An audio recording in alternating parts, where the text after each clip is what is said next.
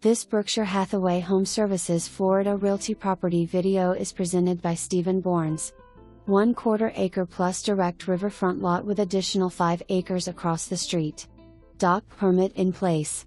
4 acres of buildable property across the street from riverfront lot. Acreage can have multifamily units if needed. 119 of direct river frontage with seawall in place. For more information, review the details below.